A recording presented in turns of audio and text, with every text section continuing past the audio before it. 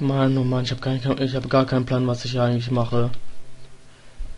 Ja, du nimmst die dünne Schnur und steckst es in deinen Mund. Äh, Gefühl gefällt es. Scheint ein Stück weit in Ordnung. Wir sind sicher, auf was Instrumente geht, um hineinzuschauen. Sie stellt ihren Kopf nach vorne, um besser hineinzublicken. Zu können, aber dann streckt der Mund dabei seine Zunge heraus. Schlürf? Ah, was zum Henker. Äh. Dort, wo uns die Zunge abgelegt hat, beginnen wir eine Wärme zu fühlen, die sich allmählich über seinen ganzen Körper ausbreitet. Wow, wir wurden geheilt. An die Wand gelehnt, fragt uns, Mar uns Margaret düster. Ah, was soll ich machen? Vielleicht damit? Ich nehme die abgegriffene Lederrolle in meine Hände und untersuche sie. Hey, was ist das? Geheime Ninja-Trainingstechniken, frage ich sarkastisch. Kid lächelt schwach und rollt mit den Augen. Ich löse das Band und öffne die Rolle. Oh, wow! Seltsame Symbole sind in die Längen auf die Rolle, geschrieben. Steht eine Menge, es wirkt, als ob es eine Weile gedauert hat, das zu schreiben. Da Kid aus meinem Gesichtsausdruck schließt, dass er etwas Wichtiges sein muss, kommt sie rüber und wirft einen Blick herauf. Oh, es ist eine imperiale Codetafel. Sie wird für die Informationsübermittlung hinter der feindlichen Linien benutzt. Wirklich? Ich kann nichts davon lesen. Du musst uns zeigen, wie wir dieses Ding benutzen können. Wieso sollte ich das tun? Es wurde die Geheimhaltung, äh, ruinieren, sagte sie und huscht davon.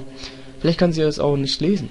Okay, gut. Was machen wir denn mit den großen alten fetten Felsen? fragte Kit hastig.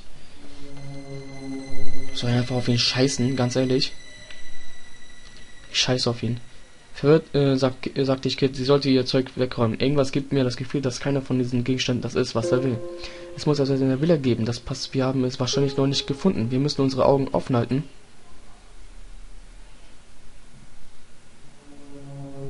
Nach einer kurzen Strecke erreichen wir eine Abzeigung zur rechten liegt dann aber. Ja. Die Treppe nehmen. Ich folge die Spannung, wobei ich hoffe, das Gleichgewicht zu verlieren. Ich stehe an der oberen Ende des Treppenbogens. Äh, ja.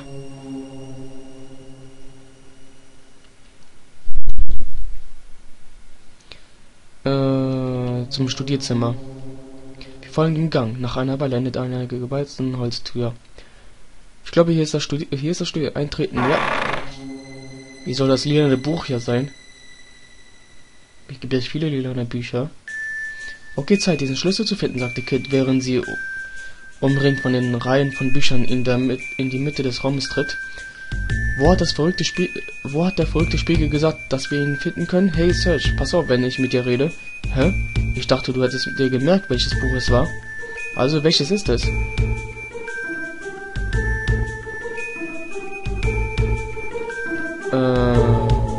War lila. Es war der lilane? Ja. Ähm, es ist das vorne mit dem lilanen Einband, oder? Kit tritt an das vordere Regal. Das lilane. Das lilane? Hier ist dieses. Kit zieht sich ein Buch aus in einem mittleren Regal. Ich schaue aufmerksam zu, als sie, als sie es ausspricht. Ihre Augen verengen sich wie eine, wie die einer Katze, als sie Seite zu Seite voller seltsamer gewund, gewundener Symbole liest. Die Neo-Epoch wurde beschädigt und ohne Phasenverschiebung in den Weltraum geschleudert. Warnung, Warnung, Antrieb ernstlich beschädigt, äh, beschädigt. Leistung ist auf 30% zurückgegangen. Nur noch 6 Antipartikelgeschosse übrig.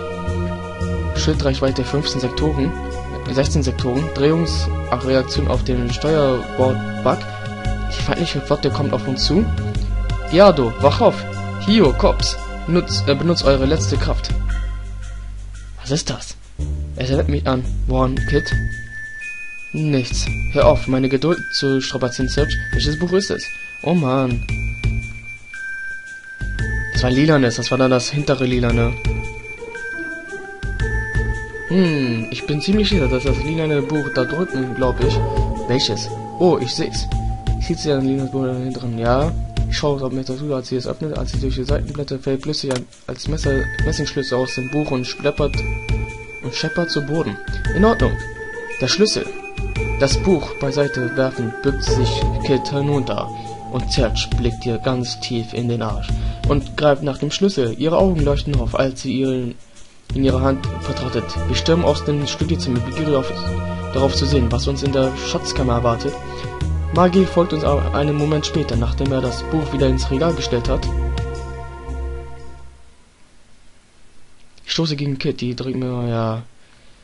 Ich halte Luft und versuche das alles zu lauschen. Das kommt dann klack, klack, klack. Irgendwas bildet auf dem Weg auf uns. Das ist ein Skelett vielleicht. Boy.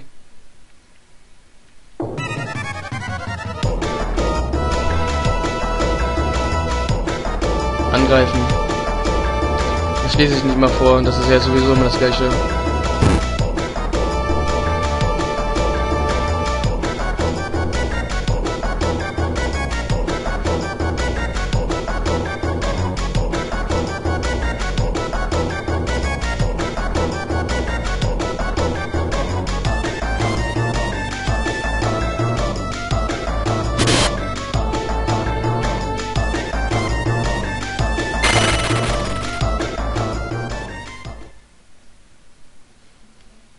Hm, ja, was ist eigentlich los? Keine Ahnung.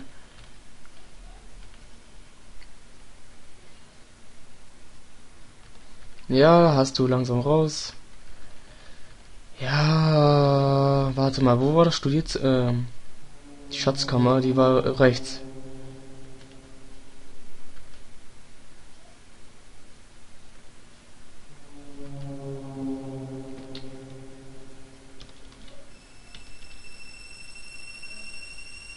Treppe runtersteigen.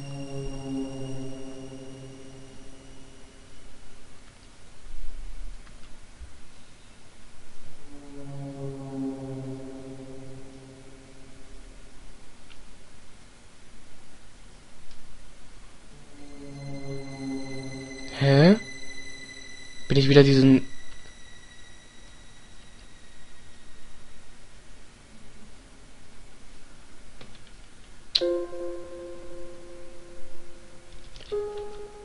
bin ich wieder hier? Willst du mich verarschen?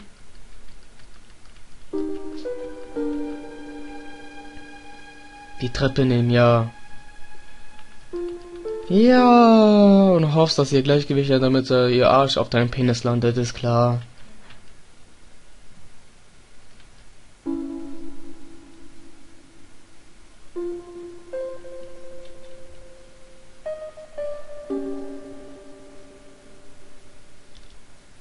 Nach rechts zur Terrasse.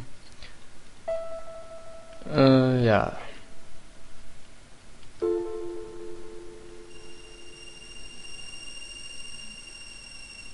Weiter dem Gang folgen.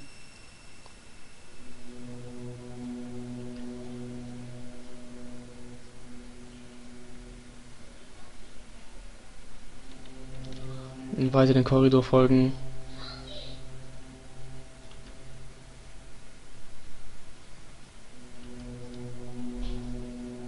Der Geruch von Gold liegt schwer in der Kump äh, eintreten.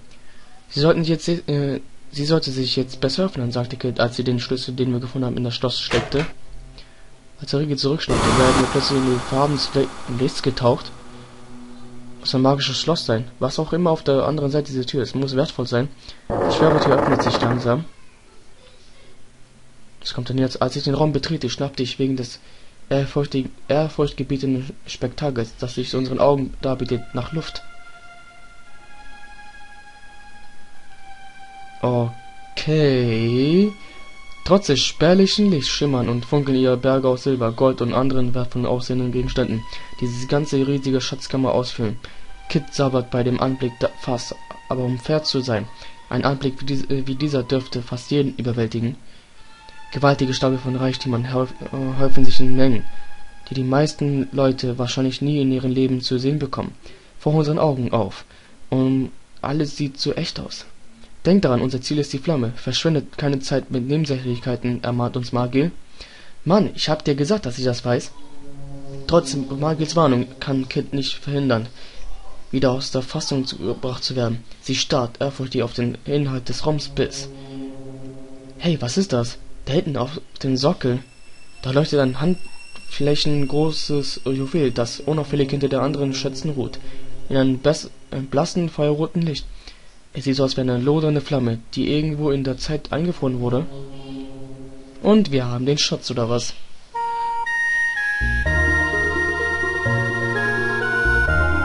Wir haben die gefrorene Flamme. Als Maggie zu den Sockel hinübergleitet, rufe ich nur bis Mach schon, nimm sie, bevor jemand merkt, dass wir sie haben. Sei vorsichtig, wir können uns nicht leisten, in eine Falle zu tappen. Äh, sei vorsichtig. Hm, schön, sagt Kit frustriert mit einem Blick zurück zur Tür. Aber denk daran, dass wir wenig Zeit haben, nachdem Maggie das Sockel mit einer Weile untersucht hat. Serge hatte recht, er scheint mit einer Falle versehen zu sein. Er tritt zurück und murmelt etwas mit einer leisen Stimme, während er seine Hand nach der Basis des Sockets äh, platziert. Langsam beginnt eine Inschrift auf der Oberfläche zu erscheinen und für einen Moment hell aufzuleuchten. Sie sollte jetzt entschärft sein, sagte er, bevor er das scharlachrote Juwel vorsichtig mit dem, vor dem Sockel erhebt. Serge Spadier hält die gefrorene Flamme. Puh, wir haben es geschafft. Mit einem erleichterten Seufzer drehe ich mich zum Magel um. Er blickt aufmerksam auf die Flamme. Zeit zu gehen, Magel, in Ordnung. Lasst uns. Plötzlich zerbricht der Edelstein in Magels Hand in tausend Stücke. Sie war eine Fälschung. Natürlich hatte der Teufel links die echte Flamme niemals an einen Ort wie diesen gelassen. Verdammt! Plötzlich geht ein Alarmklingel los. Der Raum erhält sich und schwere Eisenstangen fallen von der Tür. Unser einziger Ausweg ist blockiert. Als ich mich umblicke, stelle ich fest, dass Kit eine eindrucksvolle Krone in ihren Händen hält, als ihr plötzlich klar wird, was sie gerade getan hat. Zerspart ihr halt die goldene Krone. Dieses, dieses erbärmliche Rindvieh, sagte ich zu mir selbst. Plötzlich erwachen in den Ecken des Raumes vier mechanische Flügel zu leben. Eindringlingsalarm, Eindringlingsalarm. Ihre lauten metallischen Schreie verstärken mein Unbehagen zu noch mehr. Es sieht nicht so aus, als ob ich sie entfernen, entfernen ließen, sagt Maggie, nachdem er die Eisenstangen vor der Tür untersucht hat. Aber noch bevor Maggie seinen Satz beenden kann, beginnt von, beginnt von irgendwo außerhalb des Raumes tiefe, knurrende Stimmen zu hören. Aus welcher Richtung kommt es? fragte eine dunkle Stimme. Klingt für mich wie der Alarm der Schatzkammer. Die Stimmen werden immer lauter, während wir regungslos im Raum stehen. Wir schauen uns gegenseitig in der Hoffnung, dass einer von uns einen Rat Plan hat. Kit versteckt sich unter einem Berg Goldmünzen. Schnell, versteck dich, Kumpel. Ich blicke mich wild in den Raum um. Da, da drüben in der hinteren Ecke steht eine äh, leere Schatztruhe hinter der Säule. Mich dorthin, klettere hinein und schließe die Decke. Was mit den Eisenvögeln passiert? Sieht aus, als wäre keiner da, Boss. Das ist seltsam. Bisher hat es niemanden geschafft, diesen alten Ding zu entkommen. Vorsichtig. Den Deckel äh, öffnend. Äh, was? Äh, wir sehen uns im nächsten Part.